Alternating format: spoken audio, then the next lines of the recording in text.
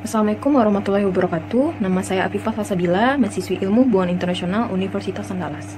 Pada kesempatan kali ini saya akan mempresentasikan hasil penelitian saya yang berjudul uh, Implementasi Program Humanitarian Action for Children oleh UNICEF dalam mengatasi masalah kelaparan pada anak-anak di Yaman tahun 2017 sampai 2019. Bab satu pendahuluan dimulai dari latar belakang Yaman sebagai negara dengan tingkat kelaparan yang terparah di dunia dan berada di posisi kedua menurut data dari Global Hunger Index tahun 2019. Korban yang paling rentan terkena dampak kelaparan di Yaman adalah anak-anak Yaman itu sendiri.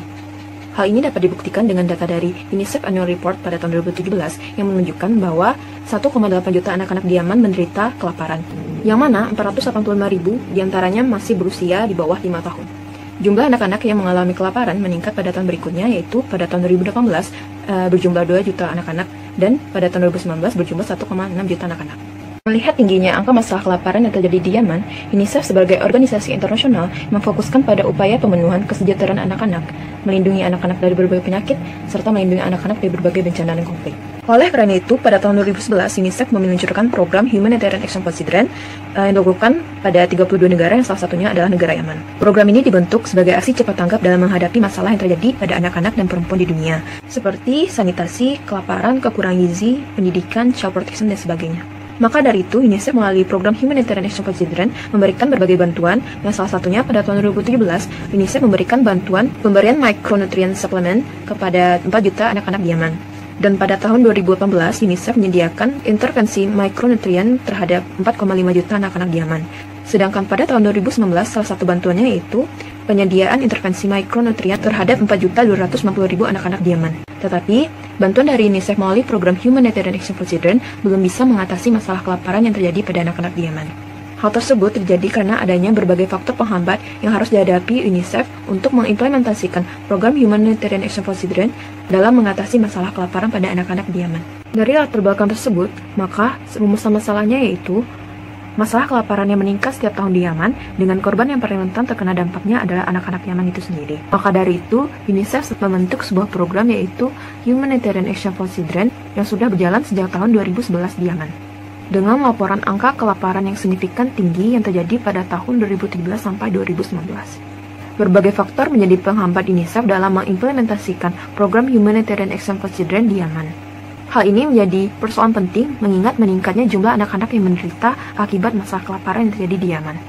Sehingga pertanyaan penelitiannya adalah bagaimana pengimplementasian program Humanitarian Action for Children oleh UNICEF dalam mengatasi masalah kelaparan pada anak-anak di Yaman tahun 2017 sampai 2019. Selanjutnya, peneliti menggunakan kerangka konsep implementasi program yang dikemukakan oleh David C. Corton. Terdapat tiga unsur yang menentukan keberhasilan dari pengimplementasian program, yaitu yang pertama, keberhasilan dari pengimplementasian suatu program dipengaruhi oleh kesesuaian program yang telah direncanakan dengan kelompok sasaran dari program tersebut. Seperti, pertama, tujuan yang ingin dicapai harus jelas. Yang kedua, dalam mencapai tujuan tersebut harus ada kebijakan-kebijakan tertentu di dalamnya. Yang ketiga, anggaran juga harus dibutuhkan dalam program tersebut, dan sebagainya. Yang kedua, keberhasilan pengimplementasian suatu program dipengaruhi oleh kesesuaian program yang telah direncanakan dengan organisasi pelaksana, yaitu bagaimana kemampuan organisasi pelaksana dalam mengimplementasikan program tersebut. Yang ketiga, keberhasilan pengimplementasian suatu program dipengaruhi oleh kesesuaian kelompok sasaran dengan organisasi pelaksana. Seperti yang pertama, bagaimana kinerja pengimplementasian program dalam memecahkan masalah. Yang kedua, aktor yang mengimplementasikan program harus sesuai dengan program yang akan dijalankan. Yang ketiga, sasaran target sesuai dengan program yang akan dijalankan dan harus berkesinambungan, dan sebagainya. Selanjutnya, bab 2, kelaparan pada anak-anak di Yaman. Dengan kondisi anak-anak Yaman yang semakin mengkhawatirkan dan semakin tingginya tingkat kematian pada anak-anak di Yaman karena dampak yang ditimbulkan dari konflik yang terjadi di Yaman. Penyebaran wabah penyakit pada anak-anak di Yaman juga meningkat karena fasilitas kesehatan di Yaman yang tidak memadai, rusak, dan tidak dioperasikan lagi. Kondisi keberlangsungan hidup anak-anak di Yaman tidak hanya terancam karena masalah wabah penyakit saja, tetapi juga masalah kelaparan yang telah menyebabkan 85.000 anak-anak di Yaman meninggal dunia pada tahun 2018. Masalah lainnya yang menyebabkan keberlangsungan hidup anak-anak di Yaman menjadi terancam, yaitu pertikaian yang dilakukan oleh pihak yang berkonflik di Yaman pada tahun 2015 yang telah merenggut 856 nyawa anak-anak dan 1.249 anak-anak mengalami luka serius. Konflik yang berlangsung di Yaman memberikan dampak besar terhadap laju perekonomian di Yaman, dan dampak tersebut menyebabkan kemiskinan di Yaman menjadi meningkat.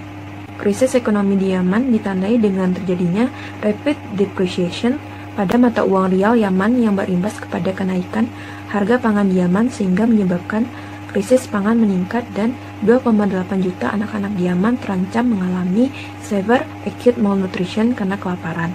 Perlu diketahui bahwa 90% bahan pangan di Yaman didapatkan dari bantuan impor, seperti 90% gandum dan 100% beras di Yaman berasal dari bantuan impor. Dampak yang ditimbulkan jika keseluruhan akses pengimporan di Yaman dihambat, maka akan menyebabkan angka kelaparan di Yaman akan meningkat, terutama pada anak-anak di Yaman.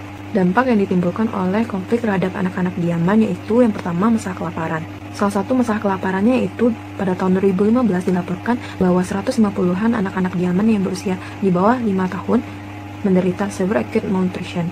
Pada tahun 2019, Global Hunger Index menyatakan bahwa Yaman berada di tingkat kelaparan yang mengkhawatirkan dengan jumlah kasus malnutrisi yang dialami oleh anak-anak di Yaman meningkat sebesar 13%. Yang kedua itu masalah kesehatan. Salah satunya adalah data dari PBB menunjukkan bahwa jumlah masyarakat Yaman yang tidak dapat mengakses layanan kesehatan mencapai 14,1 juta orang yang di dalamnya termasuk anak-anak. Ketiga, masalah pendidikan. Salah satunya yaitu karena adanya kerusakan fasilitas pendidikan akibat dari konflik menyebabkan pada tahun 2018 anak-anak Yaman yang tidak bisa mengakses pendidikan berjumlah 2 juta anak-anak. Selanjutnya yang keempat ancaman keselamatan pada anak-anak di Yaman.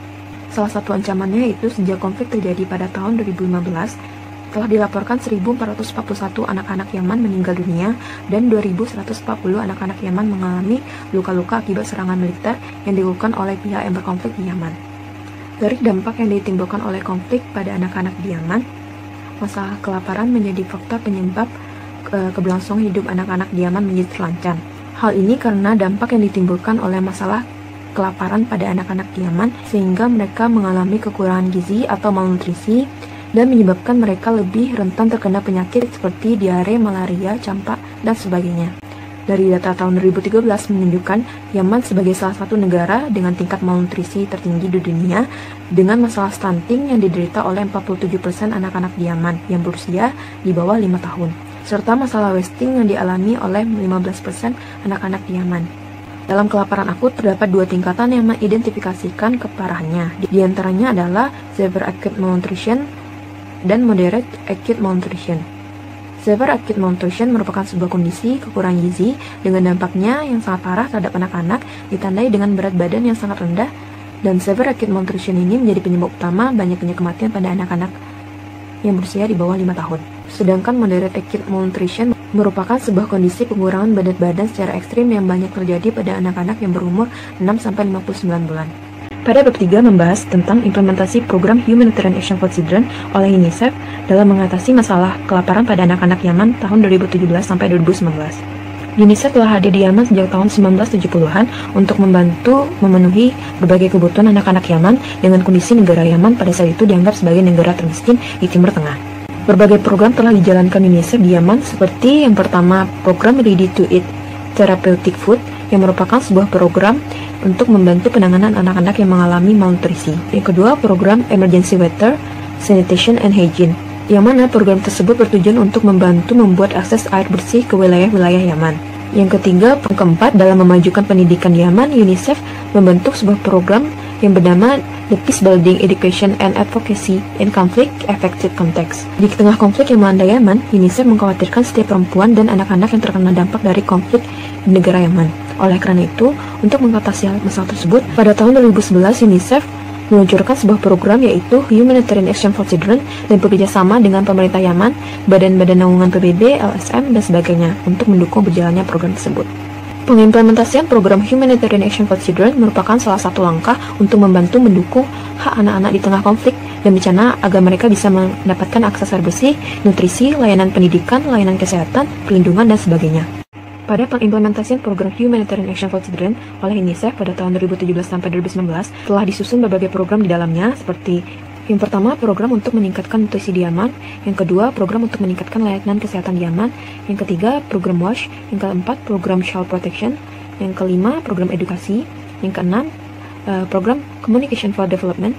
Yang ketujuh, program Rapid Response Mechanism. Namun dari rentang tahun 2017 sampai 2019, dalam program tersebut menunjukkan UNICEF belum bisa mencapai target yang diinginkan. Selanjutnya pada bab 4 membahas tentang upaya UNICEF dalam mengatasi masalah kelaparan pada anak-anak Yaman melalui program Humanitarian Action for Children tahun 2017 sampai 2019. Hasil pengimplementasian program Humanitarian Action for Children dalam mengatasi masalah kelaparan dan dampaknya terhadap anak-anak Yaman masih belum bisa dikatakan maksimal. Karena dari tahun 2017 sampai tahun 2019, perkembangan jumlah kasus kelaparan pada anak-anak di Yaman cenderung lebih meningkat. Hal ini dikarenakan adanya berbagai hambatan yang dihadapi oleh UNICEF dalam mengatasi masalah kelaparan pada anak-anak Yaman melalui program Humanitarian Action for Children. Yang pertama yaitu akses ke Yaman. Konflik telah menyebabkan berbagai organisasi kemanusiaan seperti UNICEF kesulitan dalam mengirimkan bantuan ke wilayah-wilayah Yaman. Hal ini dikarenakan tertutupnya akses darat, laut, udara ke wilayah Yaman yang dikeluhkan oleh pihak berkonflik. Dilaporkan bahwa pemblokadean yang dilakukan sepanjang tahun 2017 oleh Arab Saudi menyebabkan anak-anak yang meninggal akibat kelaparan dan penyakit meningkat menjadi 50.000 jiwa. Serta jika masa pemblokadean masih berlanjut, maka 150.000 anak-anak yang menderita malnutrisi dilaporkan akan meninggal dalam hitungan bulan di Yaman. Tidak hanya Arab Saudi, pasukan Houthi juga mengontrol dan menutup aktivitas di pelabuhan Hodidah yang telah menyebabkan 70% bantuan kemanusiaan berupa makanan dan obat-obatan ditunda untuk dikirimkan kepada masyarakat Yaman yang membutuhkan. Yang kedua yaitu tindakan penyambutasan bantuan kemanusiaan. Sebelum bantuan kemanusiaan berupa bantuan makanan dari organisasi kemanusiaan seperti UNICEF, sampai dan tersalurkan kepada masyarakat Yaman, bantuan tersebut malah diambil dan dicuri oleh kelompok-kelompok bersenjata di Yaman, salah satunya adalah pasukan Houthi. Walaupun UNICEF telah melakukan kesepakatan dengan Arab Saudi dan pasukan Houthi untuk memberikan kelonggaran dalam mengirimkan bantuan kepada anak-anak Yaman melalui pelabuhan Laut Merah, namun pasukan Houthi memberikan syarat kepada UNICEF untuk membiarkan mereka menangani 80% bantuan makanan yang masuk ke wilayah Yaman, terutama untuk pasukan gandum dan minyak untuk masyarakat Yaman. Hal tersebut menjadi salah satu penyebab masyarakat Yaman, terutama anak-anak Yaman, selama satu tahun atau pada tahun 2019 mengalami kelaparan yang mengancam keberlangsungan hidup mereka. Yang ketiga yaitu ancaman terhadap pekerja kemanusiaan. Para pekerja kemanusiaan di Yaman termasuk dari UNICEF menghadapi berbagai ancaman seperti pembunuhan, penculikan, pemerasan oleh kelompok-kelompok bersenjata. Pada tahun 2019, para pekerja kemanusiaan dari UNICEF juga merasa terancam karena adanya peningkatan kekerasan di Pelabuhan Hodeida yang merupakan salah satu akses masuk ke UNICEF ke Yaman. Ancaman tersebut dilakukan oleh pihak-pihak yang berkonflik yang akhirnya menyebabkan pengiriman bantuan kemanusiaan berupa bantuan makanan dan obat-obatan untuk membantu keberlangsungan masyarakat Yaman menjadi tertunda. Yang keempat yaitu pendanaan UNICEF bagi program Humanitarian Action for Children. Melalui program Humanitarian Action for Children, pada tahun 2017, UNICEF hanya dapat mengumpulkan dana sebesar 170 juta. Jumlah tersebut tidak sesuai dengan target UNICEF yang seharusnya membutuhkan dana sebesar 339 juta dolar. Pada tahun 2018, UNICEF melalui program Humanitarian Action for Children membutuhkan dana sebesar 337 jutaan dolar. Tetapi, hasil dari program tersebut untuk dana kebutuhan Presiden Kesehatan di Yaman masih belum bisa mencukupi sesuai dengan target yang diinginkan UNICEF. Sedangkan pada tahun 2019, UNICEF menargetkan dana untuk bantuan ke Yaman sebesar 535 juta dolar tetapi UNICEF hanya mampu mengumpulkan dana sebesar 385 juta untuk mengumpulkan pasukan bantuan kemanusiaan ke Yaman. Selanjutnya bab 5 kesimpulan. UNICEF sebagai organisasi yang melindungi hak anak-anak di dunia berpartisipasi untuk mengatasi masalah kelaparan yang terjadi pada anak-anak di Yaman dengan mengimplementasikan program Humanitarian Action for Children dari tahun 2017 sampai 2019. UNICEF membuat berbagai strategi untuk membantu anak-anak Yaman dari ancaman kelaparan yang terus meningkat. Tetapi, dalam pengimplementasian program Humanitarian Action for Children, UNICEF harus menghadapi berbagai hambatan dari pihak yang berkonflik dalam menyalurkan bantuan-bantuan kemanusiaan kepada masyarakat Yaman, khususnya kepada anak-anak Yaman. Hal ini menjadi permasalahan yang serius mengingat sampai saat ini tingkat kelaparan pada anak-anak Yaman tidak menunjukkan penurunan dan semakin mengancam keselamatan anak-anak di Yaman. Maka, untuk menganalisa permasalahan di atas, dengan melihat dari tiga unsur keefektifan atau tidaknya pengimplementasian program Humanitarian Action for Children oleh UNICEF dari David Secorton, yaitu Pertama, mengenai kesesuaian program yang telah direncanakan dan kelompok sasaran dari program. Tujuan strategi, hasil pencapaian, serta pendanaan yang ingin dicapai oleh UNICEF dalam program Humanitarian Action for sudah disusun dengan baik.